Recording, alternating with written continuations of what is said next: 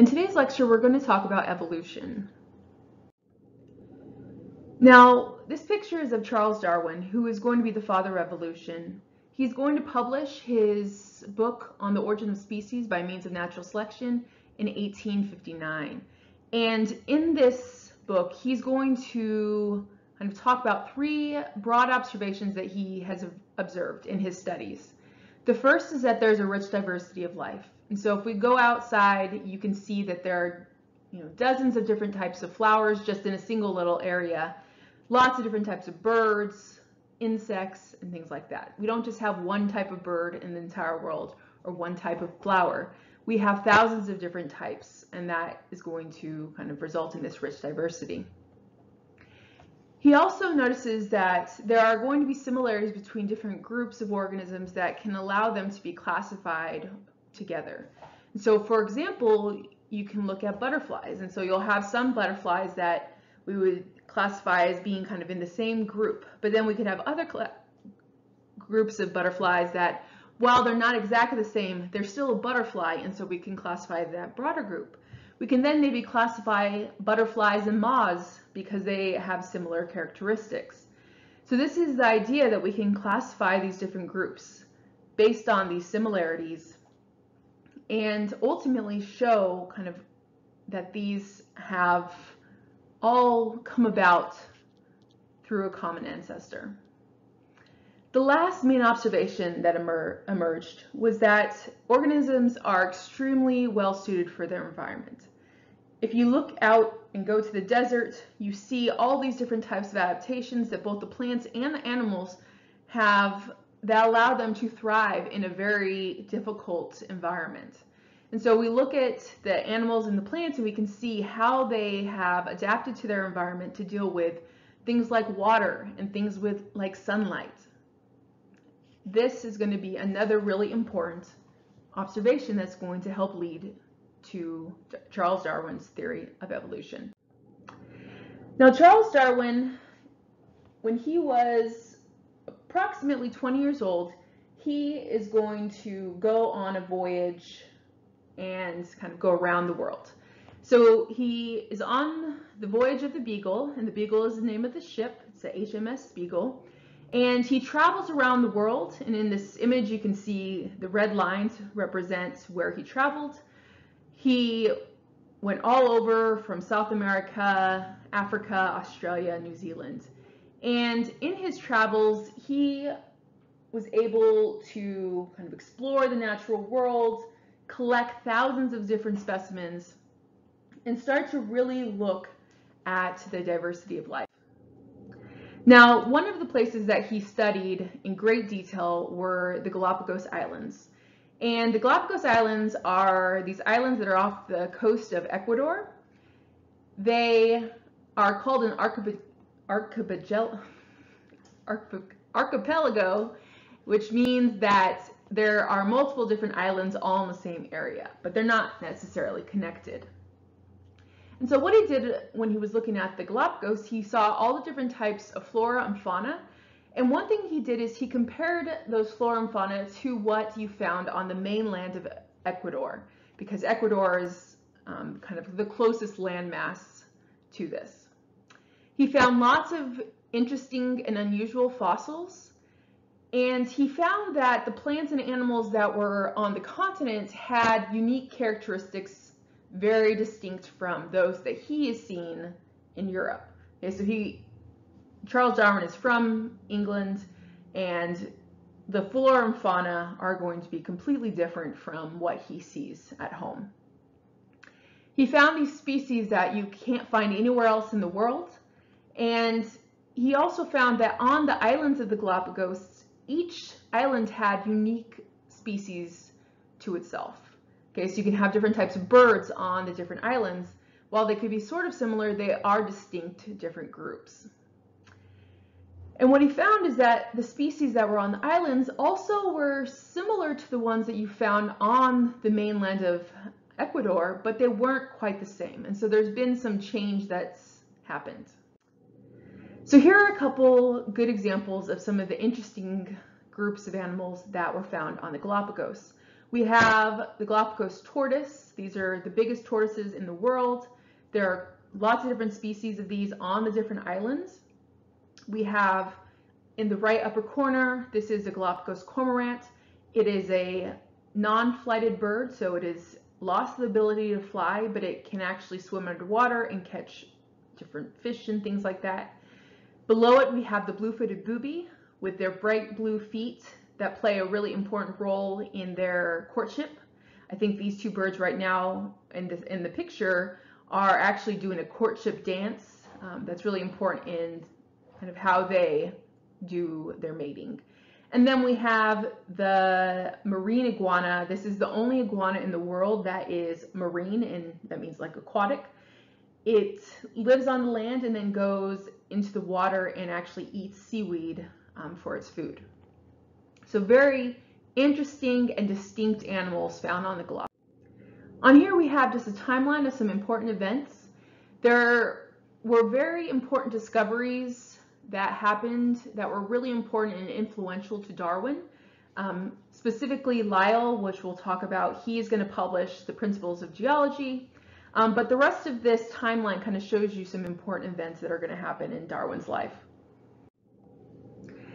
Now it's important to know what was actually going on during the time where Darwin was doing his work because the ideas about life, about diversity, about the age of the earth were very different from what um, they are today. And much of this kind of leads to controversy when Darwin actually releases his theory of evolution, but it's important to know kind of what, what were the cultural and scientific prevailing ideas of the day.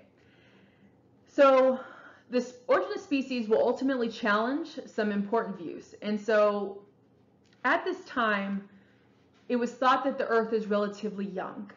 And we're talking on the order of a couple thousand years. I think probably around 7,000 years. So that is seems like a very long period of time, but when we think about the age of the Earth, it is a tiny amount of time. So the origin of species is going to challenge this idea that the Earth is young. And um, on here you can see an image of kind of Adam and Eve and this kind of timeline of how old the earth is in the kind of the idea of the biblical um, age. The other idea was that the earth is populated by unrelated species. So kind of this idea of Noah's Ark, where you have kind of a, lots of different types of organisms, but they're all unrelated to each other. So a horse is not related to a cow, is not related to a lion. And that's going to start to change because ultimately what Darwin is going to propose is that there is a common ancestor between all living organisms.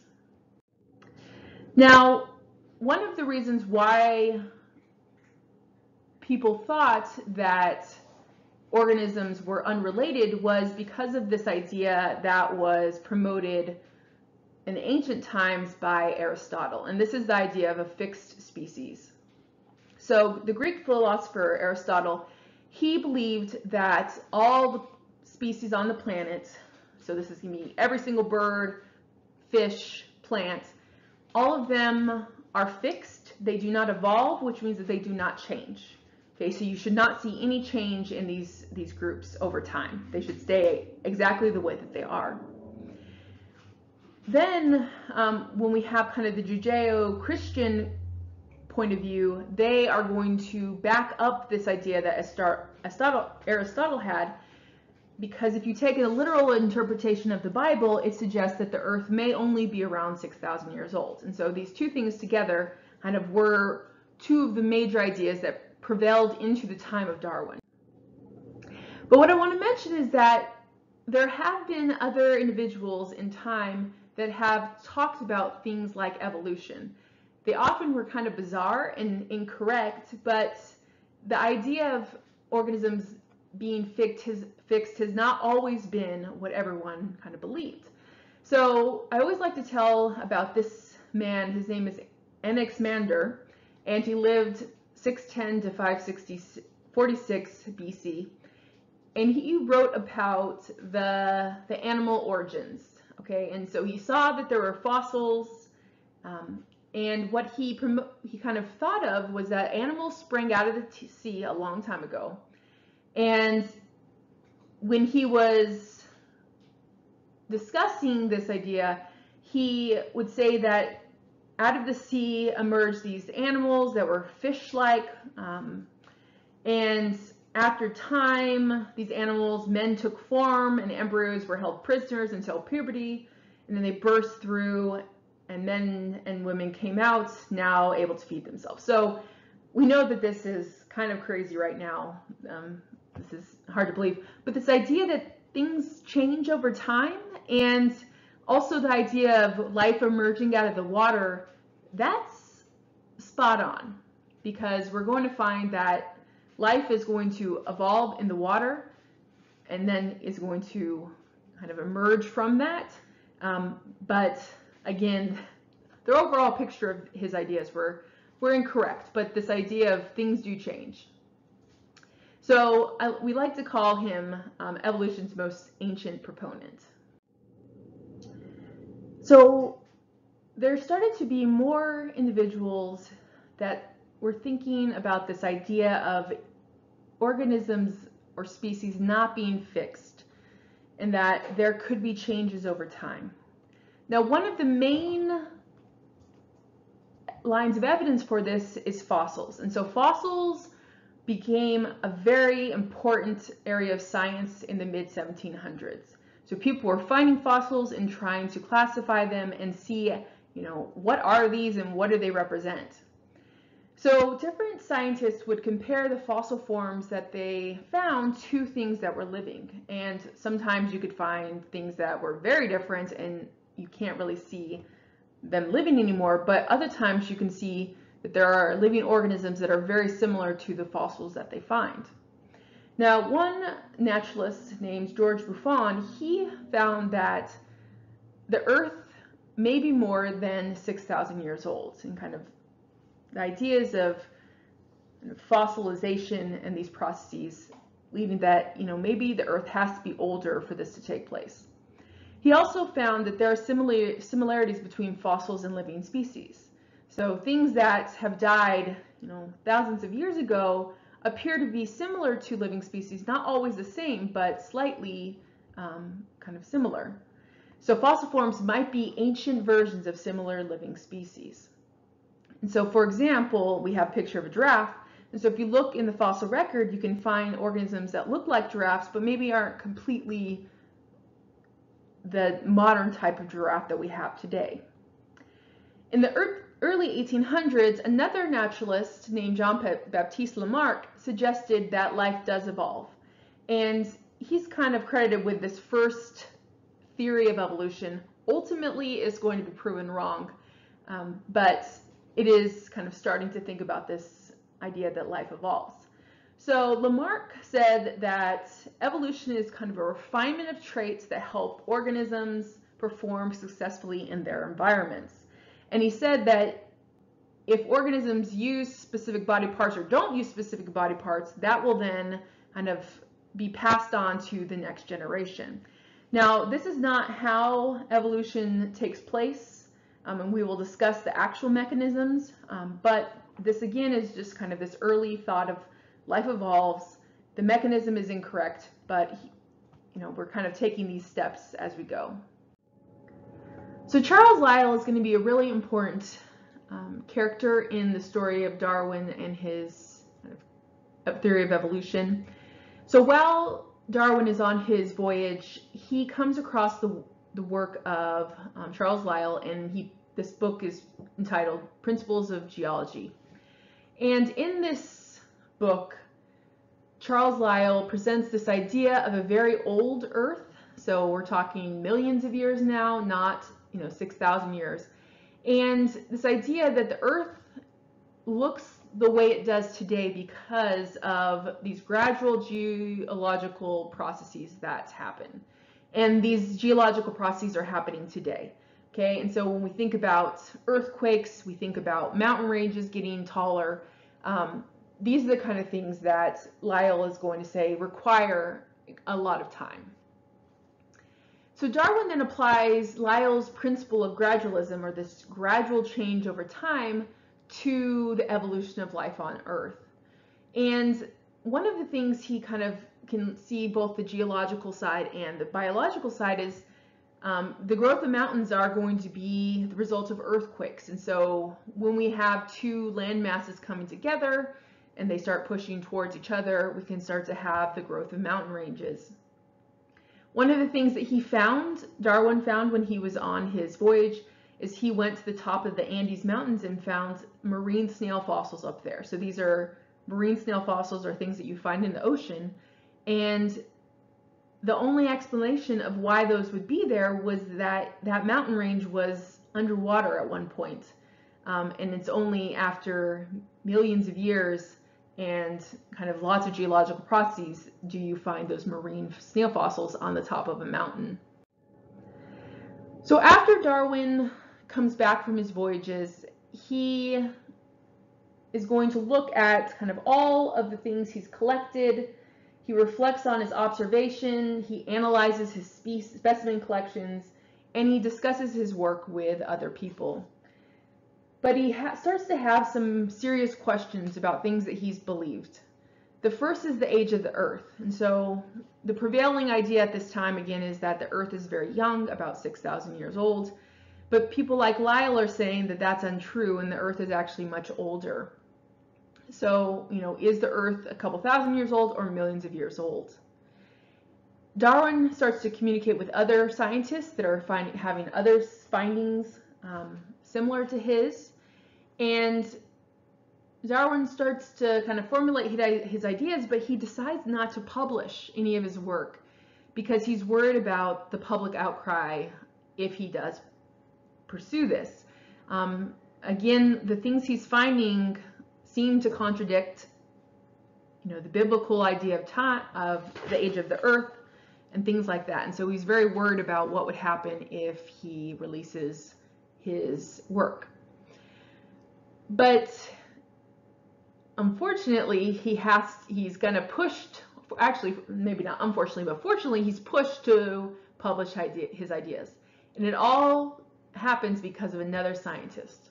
And so in the mid 1850s, another scientist named Alfred Wallace, who is a, another British naturalist, he does a lot of field work in Indonesia and he sends Darwin, who, you know, Darwin's much older at this point, um, his findings and Wallace's findings are almost identical to Darwin's concept of natural selection.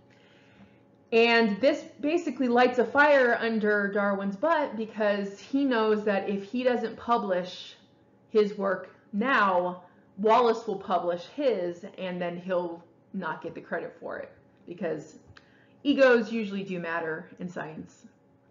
So here's Alfred Wallace and he did lots of studies um, of butterflies and really interesting flora and fauna of Indonesia. So when Darwin then writes back to Wallace, he says, all my originally originality will be smashed. And so he's afraid of being scooped by Wallace. And so Darwin and Wallace, Wallace basically publish their work together. Darwin is going to be the main figure of the theory of evolution.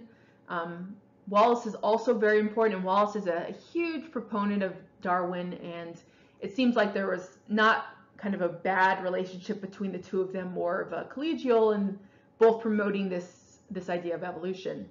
And so again, in 1859, The Origin of Species is published, and it's not just a theory where Darwin says this is what's happening. He presents so much evidence and strong logical argument for evolution. Okay, and so um, that's why, you know, Darwin's theory of evolution is still something that we talk about today. We still study it. We still find more evidence for it, and that's why we talk about it in this class. So now we're going to talk more about kind of the actual nitty-gritty details of the theory of, of evolution. Okay, and so this is a hypothesis. It has, you know, a scientific explanation, and he has observations. So we're kind of going through the process of science Okay, you can't just say something and then not test it. So everything that Darwin proposes is testable and falsifiable, um, and therefore, you know, kind of a legitimate theory. So he has hundreds of pages of evidence that kind of promote his idea of theory of evolution. There's testable predictions, and he he performed experiments, and people continue today to do experiments to kind of help understand evolution. And his main idea that comes out of the theory of evolution is that present day species are descendants of ancient ancestors that they resemble in some way. And so in this, this image, what you see is kind of ancient species of our ancient ancestors of elephants. Um, today we only have the two types left, the Asian elephant African elephant, but if you look in the fossil record, you can actually see these other ancestral types. And you can see that the modern elephants resemble those ancient ancestors. Now, the way that this happens is that over a period of time, and this usually takes, you know, a significant period of time, but there are differences that start to accumulate, and this process is called descent with modification. Descent with modification is a very important concept, um, and it's just this idea that you know, the descent would be, you know, your descendants or the the people that come after you or your your offspring. They can have slight modifications in them that will accumulate over time. And so kind of through the generations, you can have change in species. Life evolves and the process, the main process is going to be called natural selection. So we'll kind of talk about what natural selection is. Now, there are two main concepts that Darwin um, kind of promotes. The first is this idea that life evolves, okay? And the second is that the change occurs because of descent with modification. And this is with natural selection as the mechanism. Now, in this image, we have a very kind of um, popular example of evolution and natural selection. And so what we have are these two pepper moths, and one of the pepper moths is black and the other one is white with some black speckles. And the idea is that we're going to start talking about if you're a predator and you're coming in and you want to grab one of these moths, which one's going to be easier to see? And so hopefully all of you can see the white one a little bit better. And so it's going to be much more easy for a predator to catch the white one than the black one. And so this idea that there's going to be kind of certain individuals in a in a group of organisms that have some type of characteristic that's going to make them survive better than others. And so in this case, having black coloration makes this moth blend in and is much more difficult to see. Okay, and so if that then moth survives and has more offspring that then look like the, the black, then this will be this idea of kind of descent with modification. Okay, so natural selection is a process in which organisms with certain inherited characteristics are more likely to survive and reproduce than are individuals with other characteristics. So in our example with the pepper moths, the black moths are going to be have certain characteristics being black that allow it to survive and reproduce more than an individual with a different characteristic being white. Okay, so in this situation, the black moth would do much better and reproduce more and have more offspring. Now, there are two main points in the origin of species. So all of the organisms inhabiting the earth are going to descend from ancestral species. And at one point we'll talk about how there is kind of this last common universal ancestor um, that all of organisms on the planet can trace their kind of ancestry back to. And, you know, as the different descendants of these very early organisms kind of spread into various areas of the world, they're going to modify and adapt to the environments that they find themselves in. So if we have kind of different organisms moving into a desert ecosystem or a jungle, a rainforest, organisms are going to need to adapt to be able to survive in those different types of locations. Okay, so there has to be this mechanism of change over time. And natural selection is going to be kind of this process that's going to allow for adaptations to take place. Okay, and so natural selection was the mechanism for the descent with modification. So when we're looking at natural selection, we're going to start talking about something that we term fitness. And fitness is not going to be, you know, how much you weight lift and how often you exercise and things like that. It actually has to do with your genetic contribution to future generations, which is, means how many times are you going to pass on your genes to the next generation. So when we think about fitness in an evolutionary sense, we're thinking about how many offspring do you have, okay? Now, we're going to have individuals that are going to vary in their fitness. So not all individuals are going to be adapted to their environment as well as others. And this is going to then kind of be important when it comes to how they will actually survive. Okay, so adaptations of organisms within a population to their environment. And so when we have adaptation taking place, we call these adaptive traits, where it's a heritable trait that is going to enhance an individual's fitness to an environment.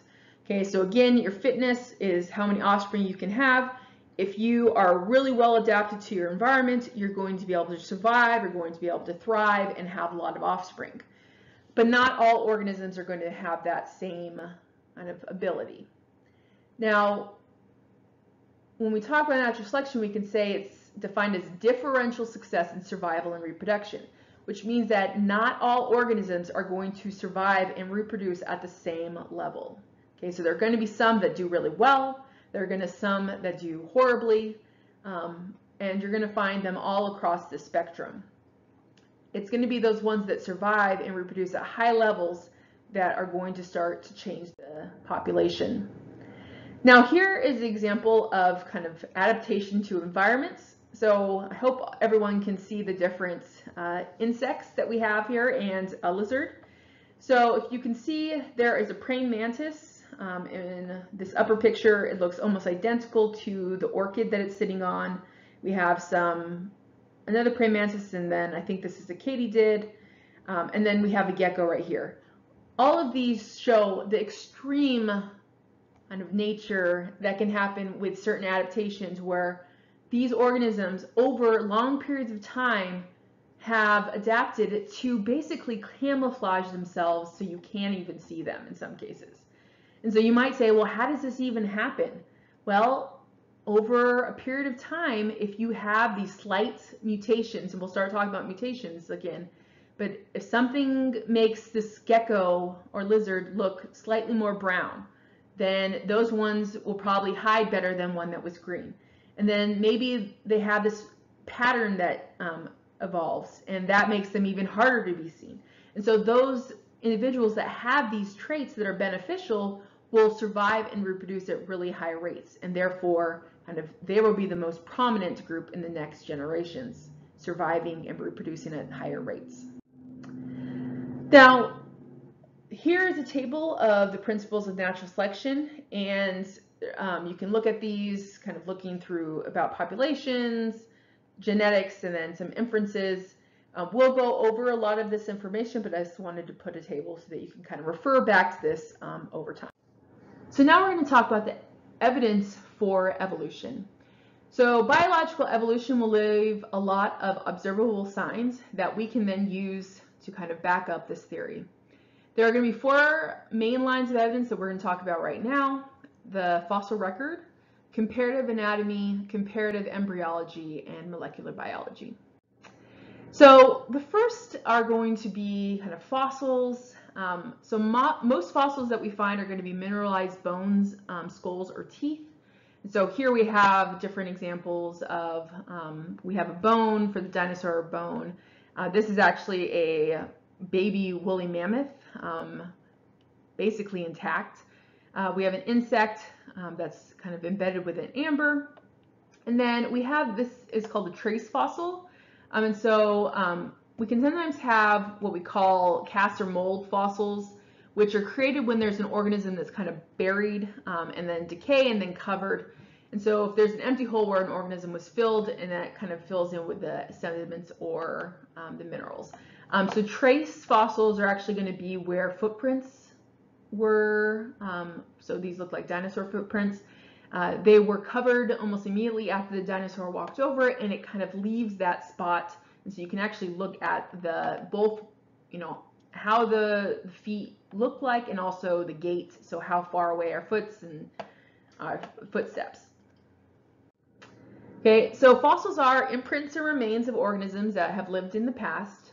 Um, they're often going to be found in sedimentary rock, so fossils are rare. They have to be um, kind of, if an organism dies, it has to be buried pretty quickly after um, the death for it to create a fossil. And so many situations when things die, they would never create a fossil, um, but sedimentary rock, kind of the nature of it, allows for fossilization to happen kind of sedimentary rock is these layers upon layers of different um, sediment. Now the fossil record is kind of the ordered sequence of fossils as they appear in rock levels layers. And the deeper you go, the older the fossil is. So if we have something that's kind of near the surface um, of the ground, that would be kind of a relatively young fossil. But the deeper and deeper you go down into the ground, you're going to get older layers of rock, which means that those fossils were created much earlier. So what the fossil record allows for, because it's kind of set in stone, is that it reveals kind of the organisms in a historical sequence. And so you can look at the different layers and see, well, when did this organism live? Did it go extinct? It goes extinct, then we can't see it in any younger layers of um, sediment. The oldest fossils that have been found are about 3.5 billion years old and they all are prokaryotes. Okay, so um, these would be unicellular organisms, very, very old, um, but these are going to be kind of the very first ones that we find. Right? When we look at both molecular and cellular evidence, the prokaryotes should be kind of the ancestors of all life, which then makes sense for them to be the oldest fossils. Okay, we would, it'd be very confusing. It would not make sense if we found, you know, eukaryotes that were older than prokaryotes because prokaryotes are what we think of are the common ancestors of all of us. Now, when you go into the fossil record, you can sometimes see transitional forms. And so, for example, um, in this image, we can see kind of a transitional form from a terrestrial or organism, so kind of looks like a, the feet look like deer, but it kind of looks like a big rat um, or wolf or some sort. But in the fossil record, you can see the transitional steps um, that we can go to then having some type of whale-like organism. So um, when we have marine animal or marine mammals like whales, dolphins, um, sea lions, and things like that, all of those are going to be descendants of terrestrial organisms. And so in the fossil record, you can actually see that, um, see those transitional forms where you can have some groups that, you know, have, are really losing their limbs um, and some that are, you know, basically have only flippers um, in this stage. Over here, we can see kind of this organism, it kind of looks like a dolphin that has a limb bone for a leg. And we know that modern day dolphins do not have legs, but we think that they evolved from uh, terrestrial organisms which would have had all four limbs. Um, paleontologists are going to be the scientists that actually study fossils. So that would be the technical term for an individual that studies fossils. And many have discovered these transitional forms that link kind of the present forms to the ancestral forms that we find in the fossil record which again kind of shows this historical perspective of how things have changed over time. We don't look in the fossil record and see all of the organisms we see today in the exact same form. Usually they're going to be slightly different um, and sometimes very different from what we see today. The next major line of evidence is comparative anatomy. And comparative would be meaning you compare two different things or three different things. Anatomy has to do with structures on the body. And so, for example, in this image, we have um, the limb bones of some different organisms. So these are going to, you have a box turtle, a dolphin, a human, and a horse, a bird, and a bat.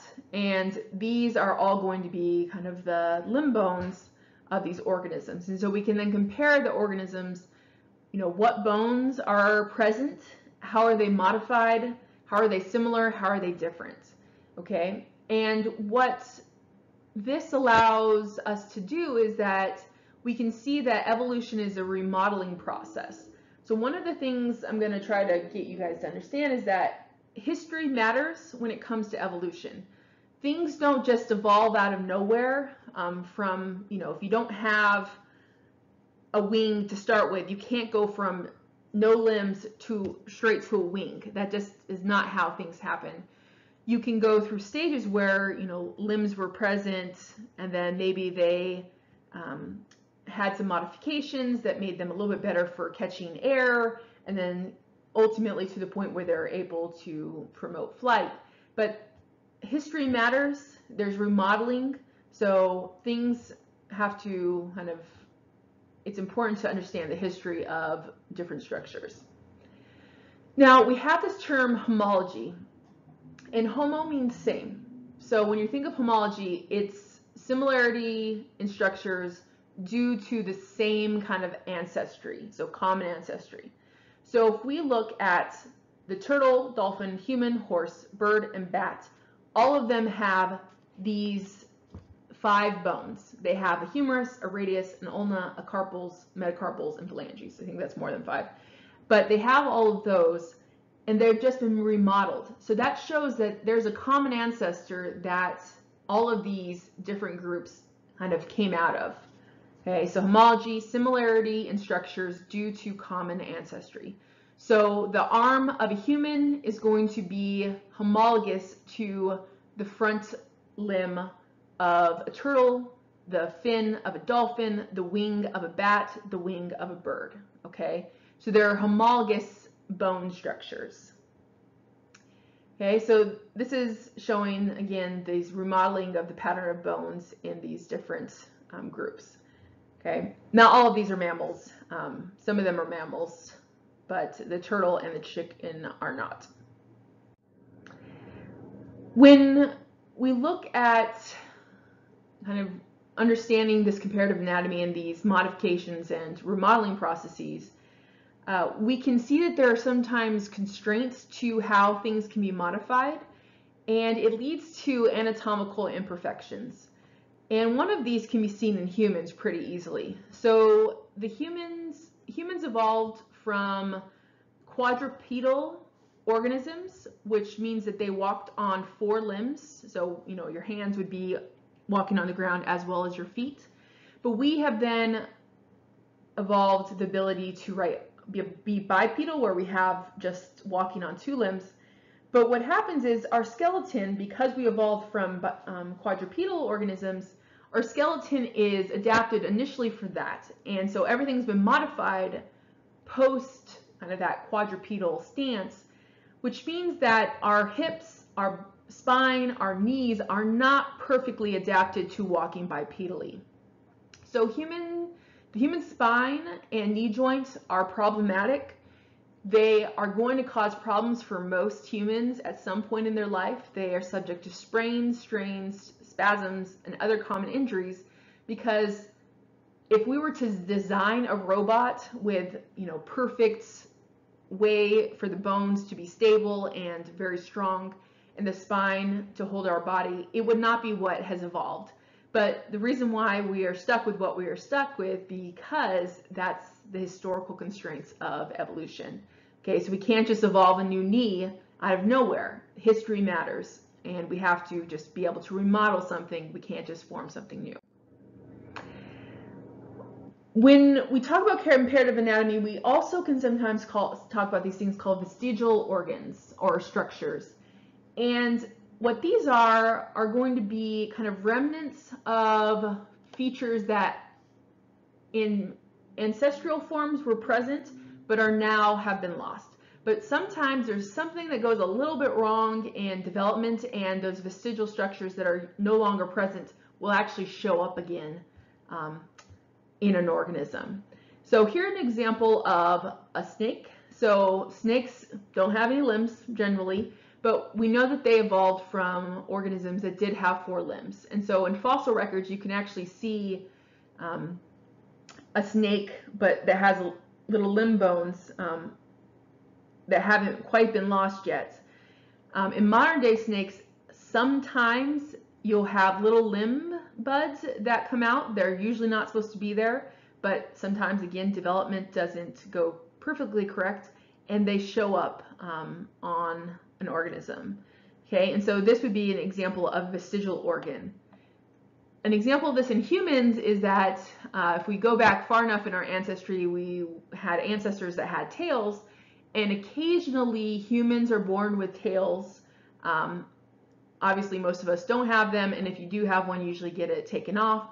Uh, but that is a vestigial organ. We no longer require a tail. Uh, it's not important to our survival, and so it's been lost. But it's still there present in the DNA. It's usually been turned off, um, but it sometimes can be turned on um, if there's been some type of issue. Comparative embryology is similar to comparative anatomy, but we're looking specifically at the embryos of different organisms. So in this image, what you can see are kind of different groups. We have fish, salamander, turtle, I think this is a, a bird of some sort, I can't read that. Um, pig, different groups. I can't read all of them that well. And then a human.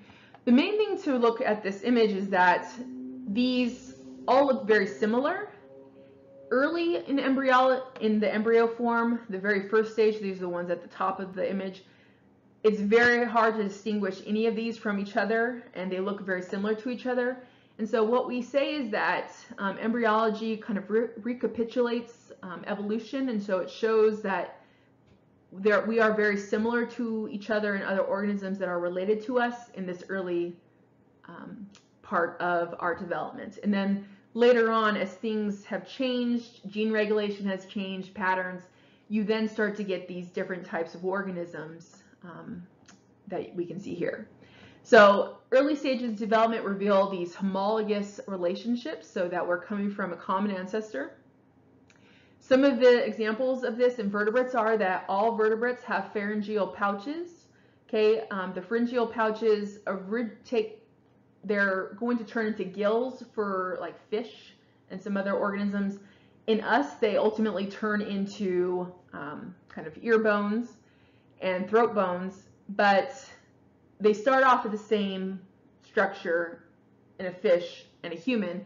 It's then that we just kind of take these different trajectories um, because of different evolutionary steps that have taken. When we look at comparative embryology, it supports the theory of evolution, again, because we're showing these common ancestry. If every organism was unrelated to each other, there would be no reason why everything would look so similar in embryo embryological development.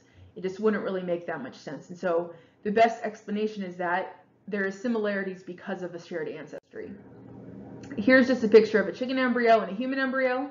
Um, so yes, they look a little bit different, but there are some similarities. So we have the pharyngeal pouches and the postanal tail.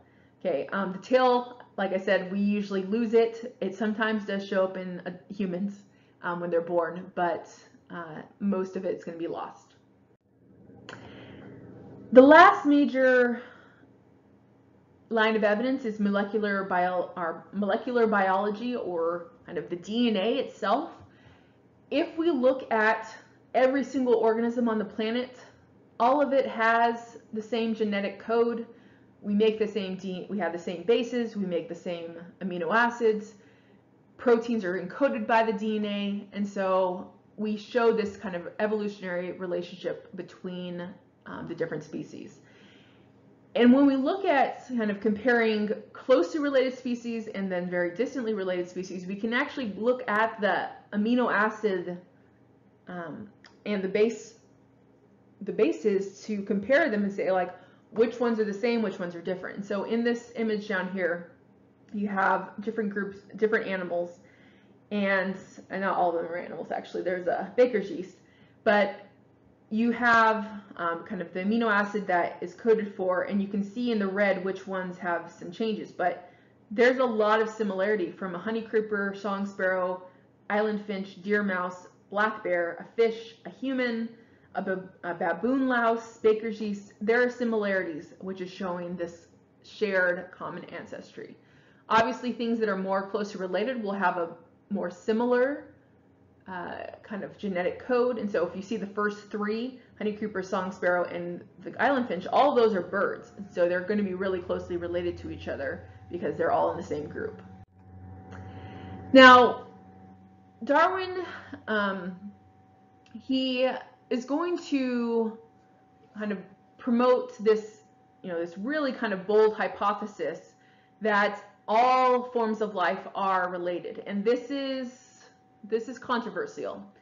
Uh, this is an actual image from his writings, and this is, you know, could be one of what we call one of the first uh, trees of life, where it's showing that kind of how organisms have evolved with each other and how they're connected. And if you see this point where it says number one, that's kind of like the common ancestor. And from there, we have these different branches of life that lead to different groups of organisms on the planet. And so 100 years after Darwin kind of made this claim, um, molecular biology has provided strong evidence for evolution. Okay, so all forms of life use the same genetic language of DNA and RNA. The genetic code, so how the RNA triplets are translated into amino acids, is nearly universal, and the genetic language of how we kind of is passed along through all the branches. So if we look at a bacteria versus a human versus a bird versus a fish, they're going to all share these same characteristics. And the only explanation is that they are related to each other and come from a common ancestor. So here is a, just another example kind of of that. Um, there's lots of misconceptions about evolution, um, and many people said that Darwin was basically saying that we have evolved from chimpanzees, which is an incorrect statement. So humans are related to chimpanzees, gorillas, orangutans, gibbons, and old world monkeys, but we do not evolve from either any of those groups.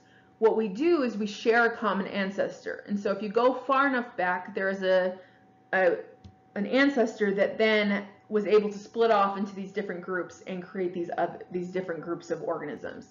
Okay, and so we have our closest relative, the chimpanzee. We share about 96 to 98% of the DNA with them, um, but they are not our ancestors, okay? And they're still alive, so that also shows that they're not our ancestors. All right, so one of the big ideas that Darwin um, talked about in The Origin of Species was how animals were very adapt, animals and plants were adapted to their environment. And one of the best examples of this that he found were the Darwin's finches. And so in lab this week, we talked all about Darwin's finches um, and experiments about how, you know, um, what kind of mimicking what took place with Darwin's finches. But this is going to be kind of very important. And it has to do with the Galapagos Islands, which were one of the most important places that Darwin went to. So here are some pictures of Darwin's finches. Um, there are many different species, and the main thing to notice is the size of the beaks. You have big beaks, little beaks. Um, we also have beaks that use tools, um, but the beak is going to be the main focus of kind of Darwin studies. What he noticed was that the beaks are adapted to feed on specific types of food. And so if you have a really big beak, you're able to eat very large nuts, very hard nuts. But little beaks were really good at little tiny seeds. And so the beak is adapted for specific food types, and thus the organisms are adapted to their environment. Okay, now Darwin is going to base his theory of natural selection on two major observations that he sees. And one of these observations is that all species tend to produce excessive numbers of offspring. So if you look for most organisms, you know, the other day I was taking a hike and I saw a pond full of um, tadpoles and there were hundreds of tadpoles And unfortunately, most of those tadpoles are not going to survive to become adults. Okay, so there's excessive numbers of offspring, and the organisms are going to vary. Some of them are going to be able to um, survive better than others, and that variation in survivability is going to be heritable. So it's passed on from, you know, in their genes. And so we're going to talk about these two major key findings. Okay, so observation number one is that there's overproduction. So all species tend to produce excessive numbers of offspring. Okay, what this does is it then leads to a struggle for existence. Okay, so you can kind of start to think of survival of the fittest. So which ones are going to be survived, which ones will not. There's always going to be competition. It's going to be competition within a species, sisters against sisters and sisters against brothers and brothers against brothers. All of the offspring are going to have to compete for the same resources. In this image, we have um, kind of the sea slug that is going to have uh, a bunch, you know, hundreds of eggs, thousands of eggs. Only a very small percentage will actually survive. Okay, and so those ones that survive are going to have some type of um, heritable traits that are going to make them better. The second observation is that there's individual variation. Okay, so if every single offspring were identical, and each one had, you know, everything was identical between them, you would imagine that all of them would survive or none of them would survive, okay, because they don't have any variation. We know that that's not what happens. When we look at offspring, there's going to be variation in lots of different traits. And some of that variation is going to be heritable. So in this, these two Im images, you can see some snails. They have different coloration, different patterns. That's going to be a source of variation and it may um, determine whether they survive or not, okay? Now, for example, when we kind of infer this overproduction of offspring and kind of variation, we infer that there's going to be a differential reproductive success, which means that some individuals are going to do really well, other ones are not going to do well. And so those individuals that have traits that are best suited for the local environment are going to leave larger, a larger share of offspring, okay? So in this diagram, what we see is that there's variation in the speed of these rabbits, okay? So you have a slow rabbit, you have kind of a moderately um, fast rabbit, and then you have a very fast rabbit, okay? Now, we're saying that this is a heritable trait. So the speed that you can run is inherited from your, your parents. When we put these two together, we can then have differential reproductive success. So if there is a predator like a fox, and we have the different um, rabbits, some of the rabbits are going to be really good at getting away from the fox, so the really fast ones. And kind of the moderately fast ones are going to also get away pretty well but those slow ones are not going to survive very well. And so you're going to see that in the next generation, there's probably going to be a lot of this bluish green fast rabbits, and there's going to be few of the very slow rabbits. Okay, and so over time, you can see that the ones that do really well will start to be a bigger proportion of the population. So there are three more um, main points about evolution by natural selection. So these are some important things to remember. This one, this first one's a little difficult to understand, but individuals themselves do not evolve. Okay, so in your lifetime, evolution does not take place. Okay, it is the changes from generation to generation, and it's changes in the population. So kind of the smallest unit of evolution is going to be a population, which would be all of the organisms in an area that are of the same species. Okay? Natural selection only acts on things that are heritable. So there are certain traits that are not heritable and therefore will not have natural selection act on them. Okay? Only things that are that are heritable can have natural selection. Okay? And then evolution is not goal directed it does not lead to perfectly adapted organisms. Okay, there is no guiding hand for evolution. It is basically chance. Okay, if there's a mutation that happens to confer higher reproductive, reproductive success, then that will lead to natural selection, okay? But there's not any goal that evolution is going towards. And so that, and I want to remind you of, you know, your knees and your spine. If we had a goal of, you know, a human adapting to be the perfect bipedal organism, we wouldn't have problems with our knees and our back, but we're not perfect. We're not perfect adaptations because history is going to matter and there's not really a goal we're leading towards. All right, so when we look at evolution, we have to look at the population level. So when we look at the population, we say that they are going to share a gene pool. So when we talk about genes, think about alleles again. So what are the alleles that are present in a population? Okay, do we have alleles that make red flowers and we have alleles that make white flowers? Okay, we have examples of flowers here and these are um, different snakes. So different patterns of um, their bodies. These are going to be kind of the, the different alleles that are in the gene pool. When we look at allele frequency, so that's going to be kind of the abundance of a particular allele. So if we have, again, this red flower and white flower, and let's say that red is dominant to white, you know, how many red alleles do we have, if it's going to be capital R? How many white alleles do we have, which would be little r? We can actually look at that allele frequency. And if that frequency changes over time, so let's just say that at some point white alleles disappear, we would say then that evolution has, has taken place because we're having changes in allele frequency in a population. So here are some different sources of variation in traits among individuals. So we're going to talk over, you know, some of these. A lot of these we've already talked about. So for example, mutations are going to be the ultimate source of variation. Okay, so they create new alleles, they're going to create new proteins, different things like that. Sometimes they're negative, other times they're silent or neutral, and other times they're going to be positive. Crossing over is going to be a, a big um, source of variation. Independent assortment, fertilization, and then changes in chromosome number or structure. And so we haven't really talked about chromosome number changing. Um, won't really discuss that much in this class, but that is a potential um, place where variation can take place.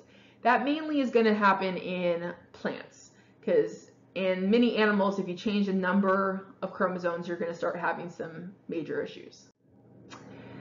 So when we look at microevolution, and this is going to uh, kind of tell us if the allele frequency is changing over time, we have a, a um, kind of equation or a principle called the Hardy-Weinberg equilibrium.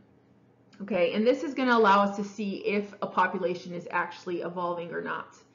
And so the Hardy-Weinberg equilibrium is basically saying that this is a non-evolving population. Okay, and so it's in genetic equilibrium, which means that alleles, allele frequencies are not changing. So you're not getting more red versus white flowers. They're going to stay exactly the same over time.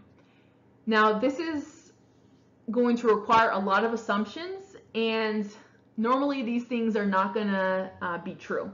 So in order for the Hardy-Weinberg equilibrium to take place, you cannot have any mutations, so no new alleles are generated. You have to have random mating, which means that there's no selective mating, and I'll explain kind of what that means. You'd have to have no gene flow, and so gene flow is going to be the basically, you know, moving um, from one population to another and having mating events. So if you have gene flow, that means that alleles can go from one population to another. In this case, we're saying there's no gene flow. So neither individuals nor their gametes enter or exit the population. So everything is going to stay where it is. Um, for Hardy-Weinberg equilibrium, you also have to have a very large population size, kind of infinitely large, which is not likely. And then you have to have no natural selection. So all alleles are going to confer equal fitness and make organisms equally likely to survive. Okay, and so this is kind of a funny cartoon about that. Now, what I'm going to say is that the reason why we set up this Hardy-Weinberg equilibrium is because we want to see what happens when it's not working. What happens when we are having evolution, because evolution is taking place. Okay, and so this idea of analyzing gene pools where you can use the Hardy-Weinberg formula and it can help you calculate kind of the frequencies of genotypes in a gene pool from the frequencies of alleles. Okay, and so um, here we have a kind of a population of pea plants. Um, you're going to notice that some of them have capital W, capital W, some of them are heterozygous with capital W, little w, and some of them are homozygous recessive with little w, little w. And so we're going to start to create this equation, and I'm never going to ask you how to do this, like I won't make you calculate this, but you will need to know the understand the principles of the Hardy-Weinberg. Um, but the frequency of the dominant allele, so for example, the dominant allele in this case is going to be capital W. We are going to call that P. The frequency of the recessive allele is going to be Q, um, and so if you have a heterozygote, you then have to say uh, it's going to be kind of PQ. Um, if you have a homozygous dominant, it's going to be P squared. Homozygous recessive, it's going to be Q squared. And if it is heterozygote, it's going to be 2PQ. Okay, that means that you have one of each of the different alleles. So here is the equation. It's um, P2, sorry, um, P squared by plus 2pq plus q2 equals 1. Okay, and so this probably sounds like a bunch of nonsense right now to you, but what this equation allows us to see is if there is a change in allele frequency. If there's a change in the allele frequency, then we have evolution taking place. Okay, so this is kind of the more important part. So here's our population of peas, and then we can look at kind of the frequency of the different genotypes. And so we know that we have um, kind of six of our genotypes are going to be big W, big W. We have one homo, uh, heterozygote, big W, little w, and then two little w, little w's, okay? We can then see what the um, kind of phenotypic ratio is and ultimately kind of find out what our P and Q ratios are. So those are going to be our ratios of our different alleles. Now, if this is kind of the big, this is the important slide because I don't want, you really have to worry about calculating any of this. But in our original population generation, we had a frequency of capital W, that was 0.72, and lowercase w was 0.28. So that was the frequency of those alleles in that population. Over time, so if we have then look at the, the next generation, we can see that there is an additional white flower and there are now two of the heterozygotes. So the frequency of the alleles has changed. So the capital W allele is now at 0.44, where it was originally at 7.2, and our little w is now at a 0.56, and it was originally at a 0.28. So what we see is that the allele frequency, so then, you know, which alleles are in the population has changed, which mean that the population is evolving. So this is what's happening kind of on the allelic level of evolution. Okay, so here's another example if we're looking at these little beetles. Um, and so you have kind of different, you have the capital A, capital A, which is kind of this gray beetle. Heterozygote is the gray as well, so it's a complete dominant situation. And then little a, little a is going to have a white um, little beetle. Okay, so you can find out what the frequencies of these are. Now, when we're doing the Hardy-Weinberg equilibrium, we're assuming that certain, all those assumptions that we discussed previously were valid. But what happens is that's not really going to happen. And so these next slides are going to show how real life situations are going to kind of carry out. So mutations are something that happen quite often. And so if we have a mutation in a population, we can take a population that originally is all little a, little a, if there's a, a, mutation that for some reason causes a capital A to be made, we can then have a new genotype. And so you'd have a different frequency of alleles in your final population, which means evolution is happening. And another example, we can have non-random mating. So non-random mating is more often than not the situation. So organisms don't tend to just mate with anything. They are going to mate with different individuals that have um, kind of a high fitness. We're not going to talk a lot about um, sexual selection today, but a little bit. But there usually is going to be something what we call either assortative mating, where a preference for similar phenotypes or genotypes, or something called um, dissortative mating, which there's a preference for different genotypes or phenotypes. But usually there's some type of non-random mating, so individuals do not mate randomly.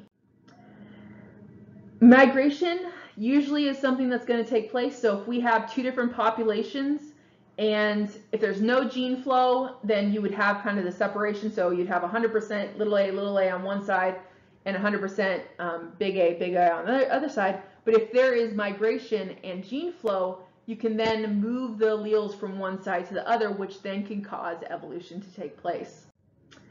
And then we'll talk about this idea in a little bit more detail, but this idea of genetic drift where sometimes there's random events where part different organisms, for some reason, all of them die out and only some of them get to mate, not because they're more fit, but because maybe they didn't get stepped on.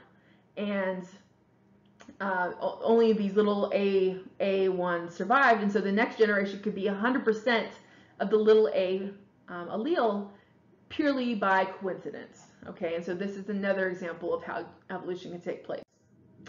And then we'll talk about natural selection where, you know, if there's some environmental change where a certain uh, phenotype is more hidden than another one, they're going to be less likely to be eaten and therefore they're going to have more offspring and are going to make up a large proportion of the generation, next generation. So again, the allele frequencies are changing over time. Okay? And so the mechanisms of evolution, the ones I kind of briefly just mentioned, the main ones are going to be mutation, genetic drift, gene flow, and natural selection. Okay, so this is how um, kind of the main evolutionary changes are going to happen.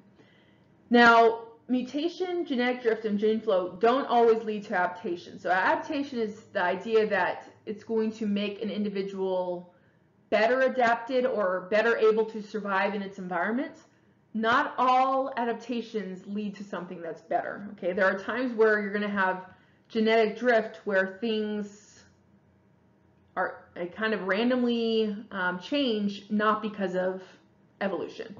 Natural selection, however, is always going to be kind of lead to adaptation or better um, survival for a spe specific type of environment. Okay, so of all the causes of microevolution, only natural selection promotes adaptation. All right, so here's a little more about genetic drift so I can just show you a little more detail. So genetic drift is going to be change in a gene pool of a very small population. Okay, and it's completely random, it's due to chance. So in this image, we have a generation one, which has mostly red flowers and one white flower. Okay, if we look at the allele frequency, we can see that you know 0.7 of the alleles is going to be our the kind of red, and 0.3 is going to be the white. If for some reason in the next generation, maybe only the ones that are in the boxes had offspring, you can have a change in the allele frequency. And so instead of having mostly red, you now can have, you know, three white and again, more of them are red, but there's a different proportion of the alleles in this case. And then let's just say that only two of the red flowers are going to have offspring for the next generation. You can completely change what the population looks like and they could be all red. Okay, this again is just has to do with chance. This could be the fact that you have a group of people walk through an area and let's just say they really like white flowers and they pick all the white flowers so that they don't produce any seeds. That's genetic drift where it's completely chance um, and there's really no adaptation taking place. Now, an example of genetic drift is something called the bottleneck. And this is an example when there is some type of kind of extreme reduction in the population size, it usually has to do with some type of dramatic uh, event like a hurricane or an earthquake or, you know, a pandemic coming through a population um, where it can actually really reduce the genetic variation in a population um, and only allow some of the original variation to persist into the future. And so we can see this bottle right here where you have the original population, you have purple balls, green balls, and orange balls. But because of this event, let's just say it was a wildflower, sorry, wildfire, only um, purple made it through and one green. And so the surviving population is going to have much less variation. We've completely lost the orange ball, um, and that's all, again, it's kind of by chance. So only some things are going to be able to survive. Now, there are good examples of this. So the cheetahs um, that have been tracked, they think that there have been at least two genetic bottlenecks within the last 10,000 years. If you look at cheetahs, they are very closely related to each other. There's not a lot of variation in the genes. This is problematic because if there ever is some type of virus or bacterial infection that's really lethal to cheetahs, if every single cheetah is really kind of has the same genetic background and they're all susceptible to it, it could completely destroy the population of cheetahs. Um, in a normal kind of healthy population, there'd be lots of variation, but because of these bottlenecks, the variation is gone, and so it's kind of a more vulnerable um, species at this time. An example of this same idea in humans, kind of the bottleneck, is called the founder effect. And, and this can also be, doesn't have to be humans, it could just be um, any type of organism. But if you have kind of a few individuals colonize a very remote habitat and there isn't really any gene flow coming in, um, whatever is present in those individuals and their genes is what's going to be what colonizes the island. And so an example of this is that there um, was a kind of a small group of individuals that moved to this island uh, half, looks a little bit closer to Africa, but it's between Africa and South America. And um, these individuals, there are 15 of them, they founded a British colony, so they're from England originally, and um, they went to, they call it Tristan da Cunha. One of the colonists, so one of the 15 had this recessive allele for a, a progressive form of blindness called retinitis pigmentosa. And because there's only 15 individuals on the island and there's one individual that has this recessive allele, this island has one of the highest levels of this um, disease proportionally because of the founders. Okay, because in a normal population, um, you have lots of variation, but because there's only 15 people on this island and one person carries it, that means that that is going to then increase the amount of this disease in this place. And this is an example of what it looks like you have this um, progressive blindness. So you kind of have a tunnel vision sort of situation going on. The next kind of um, example is going to be gene flow. And so this is the idea that you can have two populations with different allele variants. So for example, in, in, this image, we have kind of on the top a red allele and we have a blue allele. If there is a genetic barrier, um, then the allele, the different group populations can't intermingle in kind of exchange alleles. But if there is a way to get from one side to the other and have gene flow, then you can have kind of a mixture and the alleles will be able to move back and forth um, and kind of increase that variation. So this is the genetic exchange um, within a population. Usually barriers are to gene flow are going to be geographic. So if you have a mountain range between two populations of deer and there's no way to pass, then you're going to have isolation of those two different groups.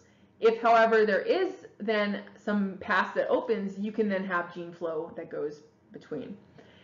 If you have gene flow, it tends to reduce the genetic differences between populations. We will talk about this in more detail when we talk about speciation because um, the way that we can have speciation take place is through some type of barrier that prevents gene flow from happening. Okay, so all of those that we looked at, genetic drift, gene flow, and mutations were all, all of those kind of can lead to evolution, but not necessarily adaptive evolution, where an organism is becoming better adapted to their environment. Okay, um, now when we talk about natural selection, we talk about Darwinian fitness. Okay, and I've already talked a little bit about fitness with you before, but fitness is this idea that an individual is going to be able to contribute more kind of genetic material to the next generation. Okay, so having lots of offspring is going to increase your genetic fitness. Okay, and so if you are able to evade predators better or catch prey better, you are going to be more fit if you can then provide more food for your offspring and have more babies. Now, when we look at natural selection, there are three general outcomes, and uh, we call these directional selection, disruptive selection, and stabilizing selection. Okay, and so this is going to be kind of adaptations to an environment that allow these organisms to better survive. Okay, so if you have an original population, and in this case of mice, um, and they're going to be different colors. So you have white mice, but you have gradual kind of in between those kind of light gray, gray, darker gray, and maybe like a black mouse. Now, if you have that variation in the original population, you can then have evolution um, and have the phenotypes kind of change and which one is going to be the better um, phenotype than others. So in directional selection, you have a shift of the phenotypic curve. For, so for example, if these mice are now going to be found on kind of a dark substrate, so dark ground, the white and very light mice are not going to do very well because they're going to stick out really well and predators are going to be able to find them. And so they're going to likely get eaten, which means that their fitness is going to be zero because they're not going to be able to have any offspring. So what's going to happen is that it's going to select for the darker phenotype. So those that have darker fur are going to survive better, have more offspring, and that's going to mean that the population is going to tend to become darker in general. Okay, so that would be directional selection. And that could happen in the other way. So it could be that instead of the really dark ones, the white ones get are more adaptive and are able to hide better and therefore would survive. Another type is called disruptive selection, which means that kind of the the white and the very dark mice, both of those do really well in a specific type of environment, but the ones in the middle somehow are not doing as well. And so you start to get kind of this disruptive, which means that you have a splitting of these two phenotypes. And ultimately, this can lead to speciation if there is enough separation between the two groups, um, but it also can just kind of keep them in between. So this is saying that there's a lot of white and a lot of um, black mice, but the ones in the middle, for some reason, they're either easier to see or don't do as well, and so they're not going to kind of be the selected group. The last type is called stabilizing selection, where for some reason the intermediate, kind of this middle phenotype is going to be the best or the most common. Um, and so for that environment, it's going to be the one that is going to survive the best, have the most offspring, and therefore that is going to be the, the color the mice are going to be um, the most. Okay. Now, there's a different type of selection that's not natural selection, um, but it can increase fitness, and this is called sexual selection. So if you look at organisms, specifically animals, there's a lot of what we call sexual dimorphism, and dimorphism means kind of two morphs or two forms. Males and females often look very different from each other. So for example, um, in the, three species groups I'm talking about here, we have finches, we have um, kind of these rams, and then we have the peacock. And so in the finch and the peacock, the males are the very brightly colored of the, of the two. Females tend to be more drab, and that's because the males are displaying kind of their fitness and their health um, with these kind of costly displays. Um, for the male rams, the females don't have horns like this, and they also don't compete in kind of these combats because the males are fighting over for the females um, kind of showing that they are good males and the females will select them. Okay, so the kind of the sexual dimorphism is not directly associated with reproduction or survival, but it can increase your fitness if you are selected um, by a mate. Okay, so if the female selects the ram that wins this competition has bigger horns, then that male is going to be very fit because he's going to have a lot of offspring. Okay. so sexual selection is really interesting. Um, it's not something that we get to go into a lot of detail about, but it does explain kind of why different organisms have such dramatic differences between the males and the females.